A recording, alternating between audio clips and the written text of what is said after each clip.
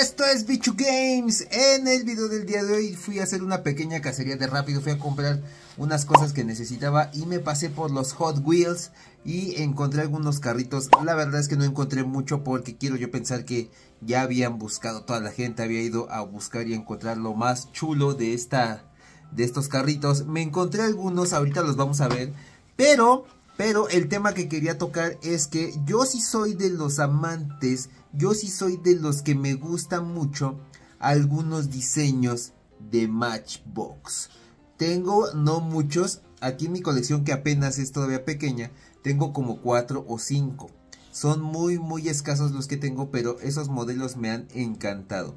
Y no, no descarto la idea de hacer una colección, aparte de la de Hot Wheels, de puro Matchbox. Así que vamos a ver cuáles son los carritos que encontré.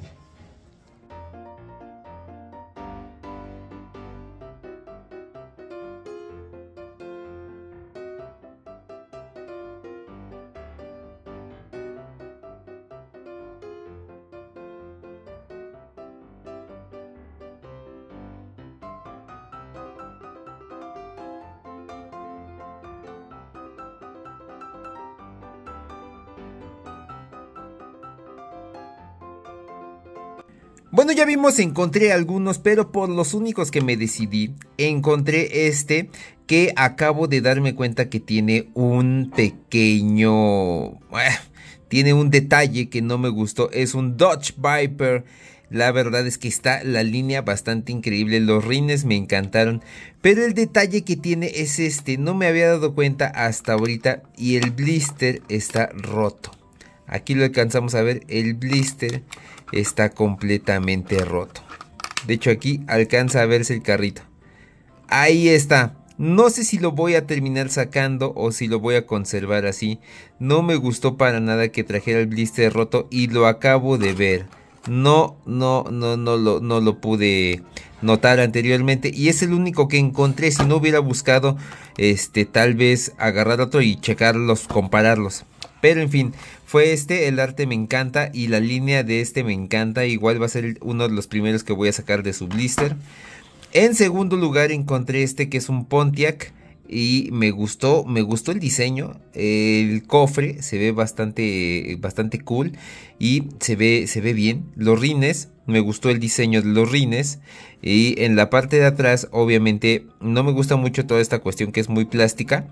Pero todo lo que es de metal me gustó muchísimo cómo se ve. Y eh, por, por, el costo que ya vimos que tienen los Hot Wheels, creo yo que fue una muy buena opción. Tengo estos dos. Y por último lo que comenté dentro de mis Matchbox. Ya voy a hacer un video mostrando los 4 o 5 Matchbox que tengo. Cuáles son los modelos. Eh, primera, algo que me encanta de la línea de Matchbox es esto que eh, los que han ido a comprar carritos notan que siempre todos los carritos de Hot Wheels están viendo hacia la derecha y los carritos de Matchbox en comparación están viendo siempre a la izquierda. Aquí están y este es el carrito que encontré. Aquí tenemos el modelo, es un Honda del 2020. Ahí está. Está bastante genial, me gusta.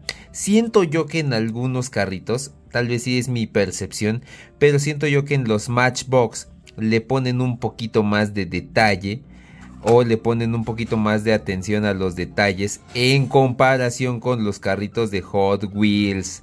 No es el caso de todos, pero en algunos he visto que sí tienen un poquito más de detalle en los carritos de Matchbox. Y estos son los tres carritos que pude encontrar.